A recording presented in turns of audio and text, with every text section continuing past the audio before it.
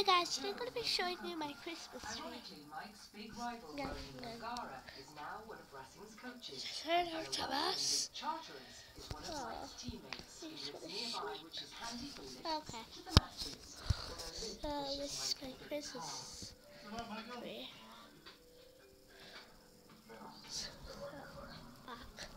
So, back there. So, there. Bobby Bobby. See,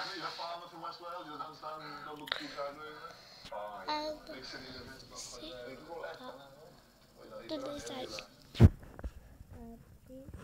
I spent a lot of time with Mike over, the years, and uh, uh, he's, a top. He's one of the best, the first guys I choose to, be around in any team that because of, sort of, um, the person. Nine. These were made by school. When he has a view, the old hunger of the competitor. The Morphin, don't Well, I want you to do well, really, So because so I know quickly. he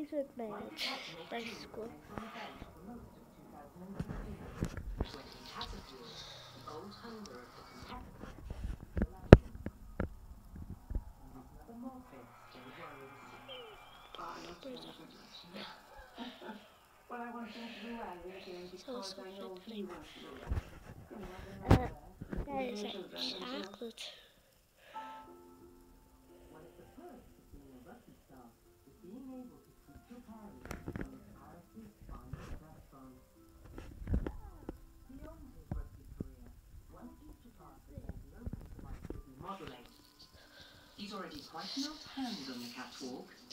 As one of Racing Metro's club sponsors, the cosmetics company Clarins are only too happy to include Mike and his colleagues in their advertising campaigns. And then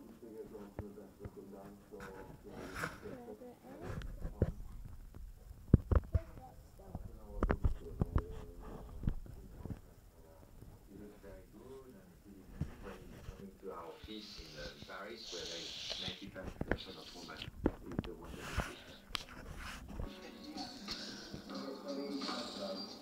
Yeah, it was a very uh, pleasant shoot, you know, uh, to see all those big guys, uh, strong, and uh, but they love it, you know. And uh, when I was looking,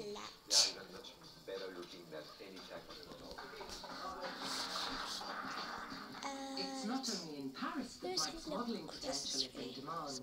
He recently signed a contract with leading London model agency MOT.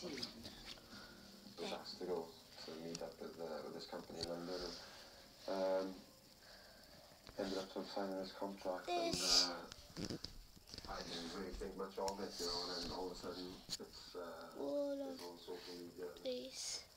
on the front of the Western Mail Yeah. somehow. I mean, uh, not really much going on in Wales, so okay. certainly got the look. This is Rudolph, the Uh, teddy bear. enjoys being photographed, and And people then enjoy looking at his photographs. He calls this. Conor Murray a poor man. I fed up. I call Mike a poor man, George Clooney. But he takes it.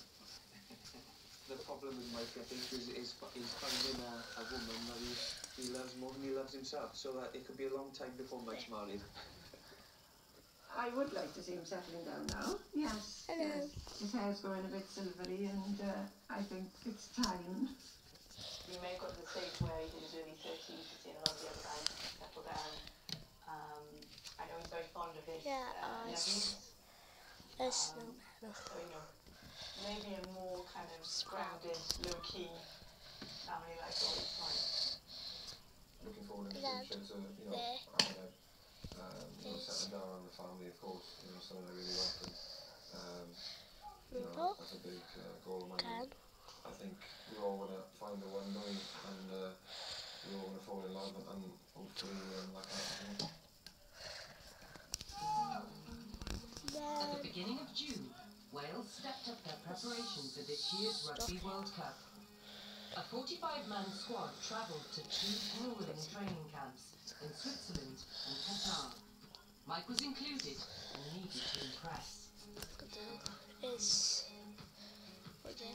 Before Warren Gatland was named his final 31-man squad for the Rugby World Cup, Wales to play three warm-up matches. The first of those would be against Ireland at Cardiff. It would be the last